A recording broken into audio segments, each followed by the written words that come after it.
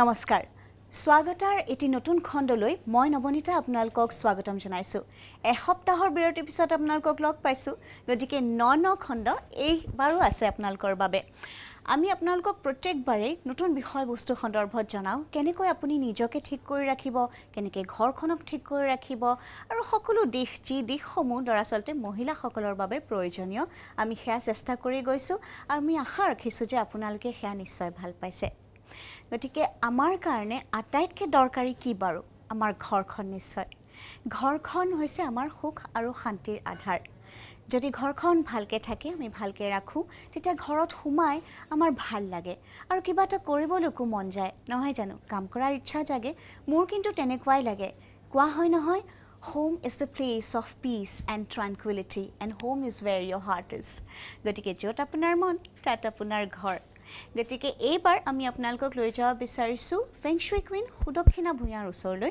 তেওঁ আপোনালোকক দিব ঘৰখন কেনেকৈ সুন্দৰ কৰি ৰখা কেইটিমান ফেংচুই টিপছ আহক টিপছসমূহ আপোনালোকক দেখাওঁ স্বাগতৰ ফেংচুই শিতানলৈ আপোনালোকক স্বাগতম জনাইছোঁ। ফেংচুই শাস্ত্ৰই আমাৰ জীৱনৰ বিভিন্ন দিশত আমাক পথ দেখুৱাইছে আৰু ইয়াৰ বাবে যিবিলাক সমস্যা আমাৰ জীৱনত হ'ব পাৰে এই সমস্যাবিলাকৰ কাৰণে সমাধান আগবঢ়াইছে। আমাৰ জীৱনৰ বা প্ৰতিটো পৰিয়ালৰ জীৱনৰ মূল আমাৰ সমস্যাটো বা মূল সুখখিনিয়ে হৈছে আমাৰ সাংসাৰিক সুখ। আৰু এই সাংসাৰিক সুখৰ কাৰণে ফেংচুই শাস্ত্ৰত বিশেষভাৱে ঘৰৰ দক্ষিণ পশ্চিম দিশটোক গুৰুত্ব আৰোপ কৰি আহিছে। এনেদৰে কোৱা হৈছে যে আমাৰ ঘৰখনৰ বা আমাৰ চৌহদটোৰ দক্ষিণ পশ্চিম দিশটোৱে হৈছে আমাৰ ভালপোৱাৰ আৰু আমাৰ সুখৰ দিশ। এইখিনিতে অতি গুৰুত্বপূৰ্ণ কথা যে এনেদৰে কোৱা হৈছে যে আমাৰ মূল কোঠাটো অৰ্থাৎ আমাৰ শোৱনি কোঠাটো। সুখ বুলি কোৱাৰ লগে লগে এখন সংসাৰত এনেদৰেই ভাবি লোৱা হয় যে ঘৰৰ যিকেইজন মূল ব্যক্তি অৰ্থাৎ স্বামী আৰু স্ত্ৰী তেওঁলোকৰ যিটো কোঠা তেওঁলোকৰ কোঠাটোকেই আটাইতকৈ বেছিকৈ গুৰুত্ব আৰোপ কৰা হৈছে। এনেদৰে কোৱা হৈছে যে এই স্বামী স্ত্ৰীৰ যিখন বিচনা এই বিচনাখন সদায় দুজনীয়া হ'ব লাগে প্ৰথম কথা। দ্বিতীয় কথা কেতিয়াও দুখন মেট্ৰেছ ব্যৱহাৰ কৰিব নালাগে। কেতিয়াবা এনেকুৱা দেখা যায় যে যেতিয়া ডাবল বেড হয় ডাবল বেডখনত এখন মেট্ৰেছ ই ব্যৱহাৰ নকৰি কেতিয়াবা দুখন ছিংগল মেট্ৰেছ ব্যৱহাৰ কৰা হয়। এনে ক্ষেত্ৰত ফেংচুই শাস্ত্ৰত কোৱা হৈছে যে এই যি দুখন মেট্ৰেছ ব্যৱহাৰ কৰা হয় ইয়াৰ দ্বাৰা চিম্বলিকেলি ছেপাৰেশ্যন বুজোৱা হয়। আৰু ইয়াক এনেদৰে উল্লেখ কৰা হৈছে যে এই দুখন মেট্ৰেছৰ দ্বাৰা যি ছেপাৰেশ্যন বুজোৱা হৈছে বা সূচোৱা হৈছে আৰু সঁচাকৈ ই বাস্তৱত এটা সময়ত ৰূপান্তৰ হ'ব পাৰে। গতিকে এনে ক্ষেত্ৰত এটা সহজ উপায় আপোনালোকলৈ আগবঢ়াইছোঁ। এয়া হৈছে যে এক বা ডেৰ ইঞ্চিৰ মানে মোটা কৰি এখন যদি পাতল তুলি আমি এই মেট্ৰেছ দুখনৰ ওপৰত যদি ব্যৱহাৰ কৰোঁ ইয়াৰ দ্বাৰা আশী শতাংশই এই ছিংগল মেট্ৰেছ দুখনৰ পৰা হ'ব পৰা ঋণাত্মক শক্তিসমূহ আমি হ্ৰাস কৰিব পাৰোঁ আৰু সুফলাফল লাভ কৰিব পাৰোঁ। ইয়াৰ পিছত সুখৰ কাৰণে বা দুয়োজন জীৱনসংগীৰ সুন্দৰ এটা জীৱন পাবৰ কাৰণে সুখী জীৱন পাবৰ কাৰণে আন এটা অতি গুৰুত্বপূৰ্ণ কথা হৈছে যে মিৰৰ আইনা। আইনা আমি যিখন আইনাত আমি মুখখন চাওঁ এই আইনাখন অতি গুৰুত্বপূৰ্ণ এক বস্তু। যিটো বস্তুৱে আমি নহ'লে এগৰাকী মহিলাৰ মানে শৃংগাৰ নহয় বুলি কোৱা হয়। এই আইনাখন সাধাৰণতেই ফেংচুই শাস্ত্ৰত কোৱা হৈছে যে আমাৰ যিটো শুৱনি কোঠা সেই কোঠাটোত কেতিয়াও প্ৰতিষ্ঠা কৰিব নালাগে।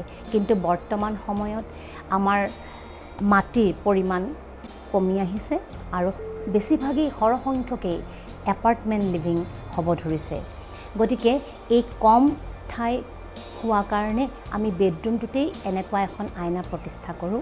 কিন্তু এইটো কথা মন কৰিব লাগিব যে আইনাখন প্ৰতিষ্ঠা কৰোঁতে আমাৰ বিচনাখন স্বামী স্ত্ৰীৰ বিচনাখন কোনোপধ্যেই যাতে সেই আইনাত প্ৰতিবিম্বিত নহয়।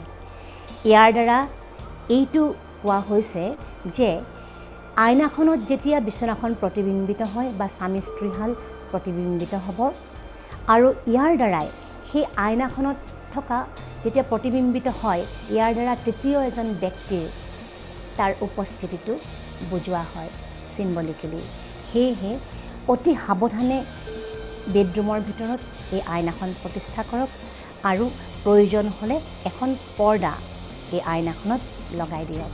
আশা কৰিছোঁ আজিৰ এই কথাখিনিৰ পৰা আপোনালোকে সুন্দৰ শুভফল লাভ কৰিব। পুনৰ লগ পাম। নমস্কাৰ। টিপছকেইটি চাই আপোনালোকে নিশ্চয় ভাল পালে। মই কিন্তু মোৰ ঘৰখন তেনেকেই ৰাখিবলৈ চেষ্টা কৰিম। মহিলাসকলৰ কি হয় সচৰাচৰে? ইজনে সিজনীক লগ পালে আমাৰ প্ৰথম চকুটো যায়। কাপোৰযোৰৰ ওপৰত অৰ্থাৎ পোচাকযোৰৰ ওপৰত। গতিকে ইজনীয়ে সিজনীক লগ পালে আমি সদায় মন কৰোঁ আনগৰাকীয়েনো কেনেধৰণৰ পোচাক পিন্ধিছে আৰু আমি তাতকৈ সুন্দৰকৈ কেনেকৈ ওলাব পাৰোঁ সুন্দৰ পোচাক এযোৰ কেনেকৈ ক্ৰয় কৰিব পাৰোঁ। মুখেৰে নক'লেও মনেৰেতো আপোনালোকেও মানিব যে এইটোৱে সঁচা কথা। গতিকে ফেশ্বন ডিজাইনাৰৰ কাপোৰ আজিকালি যথেষ্ট জনপ্ৰিয় হৈছে। জনপ্ৰিয়তাৰ এটাই কাৰণ যে আমি সকলো আগ্ৰহী হৈ পৰিছোঁ আমি সকলো বিচাৰোঁ নিজকে ধুনীয়াকৈ ৰাখিবলৈ সুকীয়া পোচাক এযোৰ পৰিধান কৰাৰ বাবে। গতিকে এইবাৰ আমি আপোনালোকক লৈ যাব বিচাৰিছোঁ ফেশ্বন ডিজাইনাৰ পাইল চেদ্ধাৰ ওচৰলৈ। পাইল চেদ্ধাই আপোনালোকক এনে কেইযোৰমান পোচাক দেখাব যি পোচাক আপোনালোকৰো দেখিলে ভাল লাগিব আৰু ল'বলৈকো মন যাব। আহক ফেশ্বন টিপছ লওঁ। নমস্কাৰ মই পায়েল চাড্ডা স্বাগতাৰ ফেশ্বন এপিছ'ডলৈ আপোনাৰ স্বাগতম জনাইছোঁ। Today we are talking again of fashion আপোনাৰ লগত এটা ডিছপ্লে কৰিব বিচাৰিছোঁ এটা ঘাগৰা পাটৰ ঘাগৰা উইথ পাটৰ blouse grey and peach with modern chador চাদৰ কাপোৰটো মই ট্ৰেডিশ্যনেল দিয়া নাই because we are using we can say it is A fusion আমি মানে আমাৰ পাটৰ লগত মানে কম্বিনেশ্যনত চুন্নিটো দিছোঁ with full silver zari work that is in peach colour again আপুনি দেখিছে মডেল ডিছপ্লে কৰিব আৰু কৰি আছে। So' she is displaying this beautiful out outfit আৰু প্লাছ আপুনি যদি ন'টিছ কৰিছে the colours of the season are mostly চামৰি আপুনি আৰু এপিছ'ডতো দেখিব পাৰিব the colours are soft light colours আমাৰ উইণ্টাৰ আহিলে যেনেকুৱা আমাৰ দিৱালী আহিলে দুৰ্গা পূজা আহিলে we all think of red maroon green তেনেকুৱা কালাৰ আমাৰ মনত পৰে। এতিয়া ছামাৰ ছিজন কাৰণে the colours are suddenly very light all dusty colours powder pink powder peach powder blue তেনেকুৱা কালাৰ এটা ট্ৰেণ্ডত আহিছে। So' I am using those colours gallery two থাউজেণ্ডত আমাৰ ফেশ্বন কালাৰ হৈছে এতিয়া peach and you know' aqua green aqua blue তেনেকুৱা শ্বেডটো বগাটো সদায় আমাৰ অতি প্ৰিয় বগাটো থাকিবই। White muga these are the basic colours which will never go' out of fashion and in fashion so' now the whole this thing is outfit is in front of you ব্লাউজৰ এটা trend যি আগতে আছিলে কি ব্লাউজৰ চলিটো খালী সৰু হ'ব লাগে তেনেকুৱা ট্ৰেণ্ডটো এতিয়া ঘূৰি পেলাই আকৌ পুৰাণা জমানাটো আহি গ'ল ব্লাউজেছ are little longer choli cut blouses they are covering the full upper torso and ঘাগৰাটো আমাৰ কালিদাৰ মই বেছি ভাল পাওঁ মানে because kali gives you beautiful shape so' the whole outfit you can see তেনেকুৱা আউটফিট প্লাছ মই যি সদায় কওঁ গেলেৰী টু থাউজেণ্ড আমাৰ ইয়াতে কাষ্টমাইজ উই প্ৰেফাৰ কাষ্টমাইজ কিয় মোৰ বেছি কনচেপ্ট কি কি যদি আপুনি কাষ্টমাইজ কাপোৰ পিন্ধে আপোনাৰ কাপোৰ বেছি শ্বুট কৰিব মানে বহুতজন কয় কি ৰেডি থাকিলে অকণমান ইজি হয় no' you have to trust your designer যদি আপুনি ডক্টৰত যায় তো আপুনিও গম পায় কি আপোনাৰ বেমাৰ হৈছে আপোনাৰ ক্ৰচিন খাব লাগে বাট তেনেকুৱা নহয় you trust your doctor and take that medication similarly you have to choose your designer you have to choose the taste আৰু আপুনি নিজৰ এজৰ লৈ আপুনি নিজৰ ষ্টাইলৰ লৈ আপুনি নিজৰ বাজেট কেপাচিটি লৈ তেনেকুৱা কাপোৰ ডিজাইন কৰাব পাৰে and plus we keep lot of ready collection which we which we will keep on seeing in upcoming episodes আপুনি আমাৰ মেখেলা চাদৰৰ কালেকশ্যন আমাৰ শাৰীৰ কালেকশ্যন বেলেগ ধৰণৰ ড্ৰেছ আমাৰ ইণ্ডো ৱেষ্টাৰ্ণ কালেকশ্যনটো দেখিব পাৰিব and plus you know' this lehenga which are model is displaying আপুনি যদি অকণমান দিন পাছত এটা নতুন লুক লৈ পেলাই পিন্ধাব বিচাৰে বা পিন্ধিব বিচাৰে। So' you can change the blouse we can give you new dupatta তেনেকুৱা বহুত অপশ্যন আপোনাৰ যদি ডিজাইনৰ লগত ডিছকাছ কৰি পেলাই বহুত অপশ্যন থাকে। And you can do lot of things about one costume আপুনি যদি স্পেণ্ড কৰিছে so' you should know' how to mix and match because mix and match is the latest trend আপোনাৰ গম পাব লাগিব এইটোৰ লগত আৰু কি কি অপশ্যন থাকিব পাৰে বা কি কি কৰিব পাৰে। So' that that is the thing and hata apni hand embroidery moy mane moy more khub priy hai and hand embroidery kitya out now hai like our weaving is our traditional work is never outdated similarly hand embroidery never goes out of fashion पर it a bling आगे था जी बहुत blingy कपड़ा fashion है इसलिए they are totally out बहुत excessive काम होब ना लगे it should be subtle it should be stylish it should be fashionable it should be wearable আপোনাৰ লগত আৰু লগ কৰিম আপোনাৰ লগত আৰু লগ পাম and you know' will keep on seeing you in more episodes of Swagata খুব ভাল লাগিছে আপুনি যদি মোৰ লগত লগ কৰিব বিচাৰে you can visit gallery two thousand two thirty four Rajgarh road outside বাইলে নেট মোৰ ফোন নম্বৰ হৈছে nine eight six four zero' six two zero' three seven thank you so' much নমস্কাৰ কাপোৰযোৰ চাই আপোনালোকৰ কেনেকুৱা লাগিল বাৰু? ভাল লাগিছে নিশ্চয়। মোৰো পচন্দ হৈছে যিহেতু মোৰ টেষ্টটো কিছু সুকীয়া। আপোনালোকে হয়তো জানে বিৰতি এটা লোৱাৰ সময় হৈছে। বিৰতিৰ পিছত আমি পুনৰ লগ পাম। আপোনালোকে চাই থাকক। স্বাগতা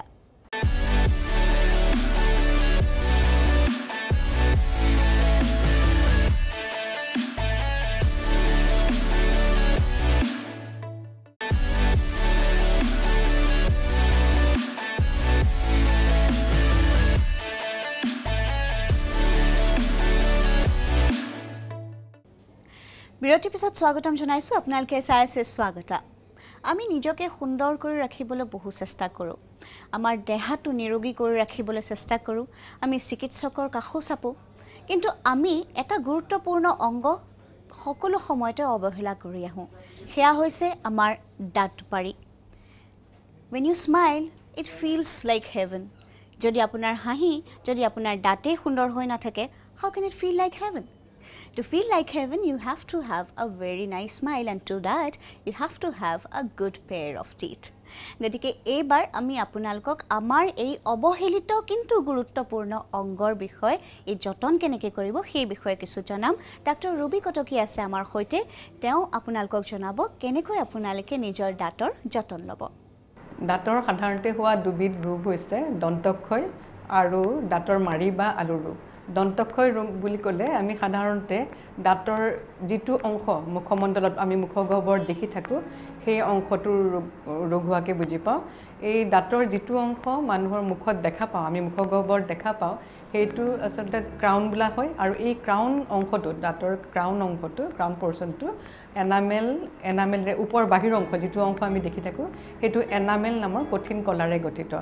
দাঁত এটা সাধাৰণতে তিনিবিধ কঠিন কলা এনামেল ডেণ্টিন আৰু চিমেণ্টামেৰে গঠিত।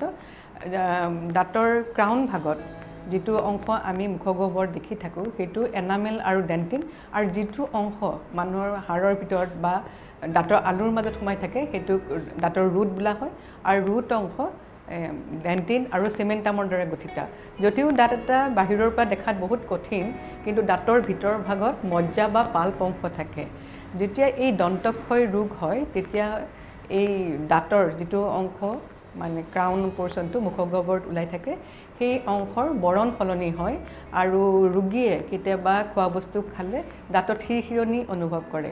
লাহে লাহে এই দাঁতৰ ৰং সলনি হৈ দাঁতত কিছুমান কেভিটিৰ সৃষ্টি হয়। দাঁতত মানে ক্ৰাউন অংশত কিছুমান ফুটাৰ হয়। সেই ফুটাত কি হয় মানুহে যেতিয়া খাদ্য খায় সেই খাদ্য বস্তুবোৰ সোমাই ৰয়। আৰু তেতিয়া এই খাদ্য বস্তুবোৰ সোমাই ৰ'লে ৰোগীয়ে এক প্ৰকাৰৰ অসহ্য অনুভৱ কৰে। লাহে লাহে যেতিয়া এই দন্তক্ষয় ৰোগটো বাঢ়ি গৈ এনামেলৰ পৰা ডেণ্টিন ডেণ্টিনৰ পৰা এই দাঁতৰ মজ্জা বা কোমল অংশ পায় যাক আমি পাল্প বুলি কওঁ তেতিয়া ৰোগীয়ে কিছুমান চেঞ্চেশ্যন বা শিৰশিৰণি অনুভৱ কৰে। আৰু লাহে লাহে এই শিৰশিৰণি বিষলৈ পৰিৱৰ্তিত হয়। দন্তক্ষয় ৰোগ হোৱাৰ প্ৰধান কাৰণ হৈছে অপৰিষ্কাৰ মুখগহ্বৰ আৰু আমাৰ মুখগহ্বৰত সাধাৰণতে বহুত বেক্টেৰিয়া থাকে। সাধাৰণতে এই বেক্টেৰিয়া বা মাইক্ৰ' অৰ্গেনিজমবিলাকে বা যিবিলাক জীৱাণু এইবোৰে মুখৰ একো অনিষ্ট নকৰে। কিন্তু আমাৰ মুখগহ্বৰ যদি অপৰিষ্কাৰ হয় তেতিয়াহ'লে এই মাইক্ৰ' অৰ্গেনিজম এই জীৱাণুবোৰে আমাৰ খাদ্যাৱশেষৰ লগত ক্ৰিয়া কৰি কিছুমান ৰাসায়নিক পদাৰ্থ টক্সিনছ আৰু এচিডছ তৈয়াৰ কৰে। এই এচিডবিলাকে এই মুখৰ ভিতৰত থকা জীৱাণু আৰু খাদ্য বস্তুৰ এই মানে যিবিলাক অৱশেষ এইবিলাকৰ লগত ৰিয়েকশ্যন কৰি দাঁতত এখন মানে স্বচ্ছ আৱৰণৰ সৃষ্টি কৰে আৰু তাকে ডেণ্টেল প্লাগ বুলি কোৱা হয়। এই ডেণ্টেল প্লাগেই হৈছে দন্তক্ষয় ৰোগৰ প্ৰধান কাৰণ। দন্তক্ষয় ৰোগ হ'লে মান- মই আগতে কৈছোঁ যে দাঁতত সিৰসিৰণি অনুভৱ কৰা যায় দাঁতৰ ৰং বৰণ সলনি হয় দাঁতত কিছুমান কেভিটি হয় ফুটা হয় তাত খোৱা বস্তু সোমাই ৰয়। আৰু একদম যেতিয়া লাষ্টৰ পিনে দাঁতলৈ অসহ্য বিষ হয় যদি দন্তক্ষয় ৰোগটো মানে যেতিয়া আৰম্ভ হোৱাৰ ধৰক একদম আৰম্ভণিতে যদি ৰোগী চিকিৎসকৰ ওচৰলৈ যায় তেতিয়াহ'লে এই দন্তক্ষয় ৰোগৰ মানে যিখিনি অংশ আক্ৰান্ত হৈছে সেই আক্ৰান্ত অংশখিনি আমাৰ বিভিন্ন ধৰণৰ ইনষ্ট্ৰুমেণ্ট আছে সঁজুলি আছে। সেই সঁজুলিৰ সহায়ত আক্ৰান্ত অংশখিনি আমি আঁতৰাই দি চুইটেবল ফিলিং মেটেৰিয়েলৰ সহায়ত দাঁতটো আকৌ ফিল আপ কৰি দিব পৰা যায়। আৰু যদিহে দন্তক্ষয় ৰোগটো বাঢ়ি গৈ আমাৰ জাতৰ যিটো মজ্জা অংশ পাল্প চুৱে গৈ যেতিয়া পেচেণ্টে বা ৰোগীয়ে সিৰসিৰণি আৰু বিষ অনুভৱ কৰে তেতিয়া চিকিৎসাটো অলপ বেলেগ হয়। তেতিয়া ৰুট কেনেল ট্ৰিটমেণ্ট বুলি কয় এক বিশেষ ধৰণৰ চিকিৎসা পদ্ধতি আছে। সেই চিকিৎসা পদ্ধতিৰ দ্বাৰা যিটো আক্ৰান্ত পাল্প বা মজ্জা অংশ উলিয়াই পেলাই আৰু ধৰক একদম চুইটেবল ফিলিং মেটেৰিয়েলৰ সহায়ত একদম দাঁতৰ ৰুটৰ পৰা শিপাৰ পৰা ধুনীয়াকৈ ফিলিং কৰি দিয়া হয়। আৰু ৰুট কেনেল কৰা দাঁতটো পিছত ক্ৰাউন বা কেপিঙৰ দ্বাৰা মানে কাৰ্যক্ষম কৰি কাৰ্যক্ষম হোৱাকৈ সংৰক্ষণ কৰিব কৰা হয়। আজিলৈ আমি ইমানতে সামৰিছোঁ। পৰৱৰ্তী খণ্ডত আকৌ আপোনালোকক লগ পাম আৰু দাঁতৰ বিষয়ে আমি আপোনালোকক পুনৰবাৰ জনাম। গতিকে দাঁতৰ যতনৰ বিষয়ে আপোনালোকে গম পালে আৰু যেনেকৈ ডাক্তৰে কৈছে ঠিক তেনেকৈ আপোনালোকে নিজৰ দাঁতৰ যতন কৰিব। আমি নিজকে ফিট কৰি ৰাখিবৰ বাবে কি কি নকৰোঁ বাৰু? কিছুমানে আসন কৰে কিছুমানে জিমত যায় কিছুমানে খোজ কাঢ়ে আৰু আত্মৰক্ষাৰো বিভিন্ন কথা আমি আজিকালি মন দিয়া আৰম্ভ কৰিছোঁ। নহয় জানো?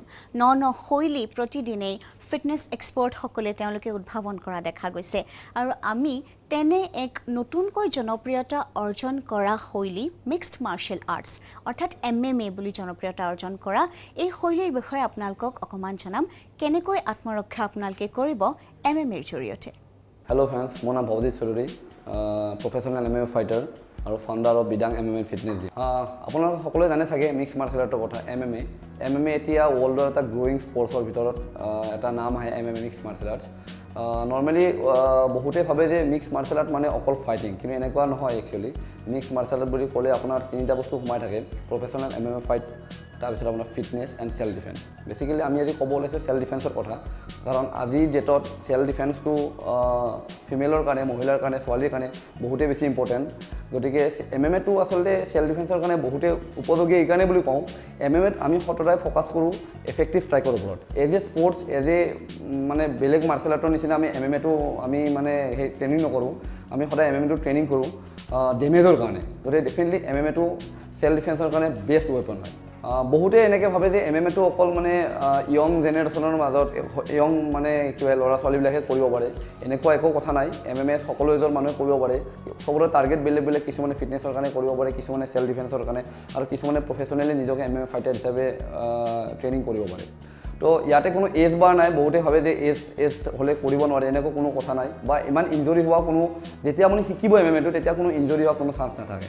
এইটো কম্বেট স্পৰ্টছ হয়। কম্বেট স্পৰ্টছ বুলি ক'লে আপোনাৰ ইয়াৰ ভিতৰত ধৰি লওক judo wrestling kick boxing kung fu karate মই ঠাই এই সকলোবিলাক মিলি পিনি একচুৱেলি এম এম এটো হয়। ইউৰোপিয়ান কাণ্ট্ৰিবিলাকত বা আমেৰিকাত এম এম এটো একচুৱেলি বহুত আগতে ষ্টাৰ্ট হৈছিলে বা তাত বহুত বেছি পপুলাৰ হয়। কিন্তু ইণ্ডিয়াত আহিলে এতিয়া এইটো পপুলাৰ হ'ব ধৰিছে। ইণ্ডিয়াত এতিয়া নতুনকৈ এতিয়া চব যিবিলাক স্কুল কলেজৰ ল'ৰা ছোৱালীয়ে সকলো ল'ৰা ছোৱালীয়ে আজিকালি এম এ শিকিব বিচাৰে বা এম এ ফ'ল' কৰে। বেচিকেলি এইটো ইণ্ডিয়াত বহুত ফাষ্ট গ্ৰ'য়িং হৈ আছে এতিয়া। বহুত ফাষ্ট গ্ৰ'য়িং হৈ আছে এম এটো ইণ্ডিয়াত এতিয়া। ময়ো আগতে আপোনাৰ ধৰি লওক মই এছ এফ এলত খেলোঁ। মই এছ এফ এলত গুজৰাট টীমৰ কেপ্টেইন হয়। তো আগতেই যেতিয়া first M M A start কৰিছিলোঁ মই অসমত তেতিয়া ইমান বেছি ভাল ৰেচপঞ্চ পোৱা নাছিলোঁ। এতিয়া মানুহে বুজিছে একচুৱেলি যে এম এম এৰ পৰা বহুত বেছি লাভ আছে তো সকলোৱে এম এম এ কৰি আছে এতিয়া। নৰ্মেলি মই ইয়াতে Bidang M M and fitness gym নামৰ দুখন জিম আছে গুৱাহাটীত দুখনৰ মই অ'নাৰ হয়। তো তাতে কমচে কম টু থাউজেণ্ড থ্ৰী থাউজেণ্ড ল'ৰা ছোৱালী তাত ট্ৰেইনিং কৰি দিলি এভৰিডে চ' মই সকলোকে আমন্ত্ৰণ জনাইছোঁ ইয়াৰ পৰা বহুত বেছি লাভ আছে স্পেচিয়েলি এটা মই ইম্পৰ্টেণ্ট কথা যিটো হৈছে চেল্ফ ডিফেন্স চ' ফিটনেছৰ কাৰণে বহুত জিম আছে গুৱাহাটীত। হা কিন্তু চেল্ফ ডিফেন্সৰ কাৰণে এম এম এটো চবতকৈ বেছি বেষ্ট হয়।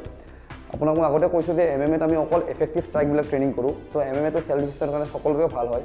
ত' এম এম এ ট্ৰেইনিঙৰ কাৰণে বহুত বেছি দিন আপুনি এনেকুৱা নহয় যে আপুনি দিনটো লাগি থাকিব লাগে বা চেল্ফ ডিফেন্স শিকিবৰ কাৰণে আপুনি দিনটো আপুনি এনেকুৱা মানে বহুত টাইম দিব লাগে। এনেকুৱা নহয়। আপুনি দিনত thirty to forty five minute যদি M M A properly training কৰে প্ৰপাৰ গাইডেঞ্চত তেতিয়াহ'লে আপুনি উইদিন ছিক্স মান্থৰ ভিতৰত আমি আপুনি এটলিষ্ট নিজক বচাব পৰা মানে সেইটো ষ্টেজত আহি পাব। প্লাছ আপোনাৰ ফিটনেছ লেভেলটো বহুত হাই হ'ব। আৰু মই এটা কথা কওঁ যে উইদাউট ফিটনেছ একো পচিবল নহয়।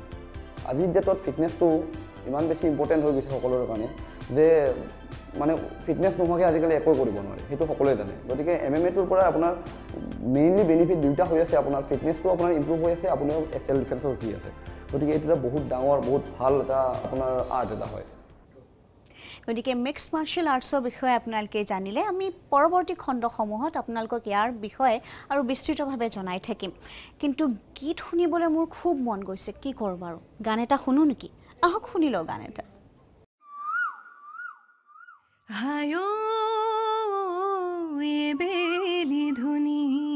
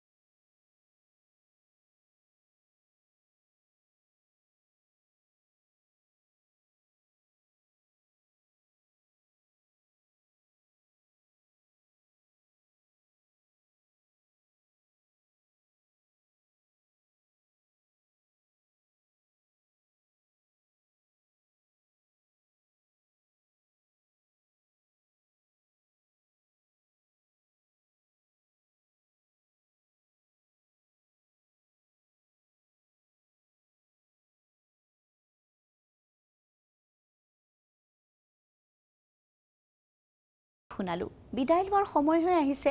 অৱশ্যে মোৰ যাবলৈ মন যোৱা নাই কিন্তু কি কৰিব? সময় যিহেতু তেনেই তাকৰ। আৰু আপোনালোকৰো নিশ্চয় মোক এৰি থৈ যাবলৈ মন নাযায়। কিন্তু অহা সপ্তাহত পুনৰ লগ পাম গতিকে নাপাহৰিব। দুই বাজি ত্ৰিছ মিনিটৰ পৰা তিনি বজালৈ প্ৰতি শনিবাৰে প্ৰতি সপ্তাহতে আপোনালোকে মোক অৰ্থাৎ নৱনীতাক লগ পাব। স্বাগতৰ মজিয়াত। আজিলৈ বিদায় লৈছোঁ। ধন্যবাদ।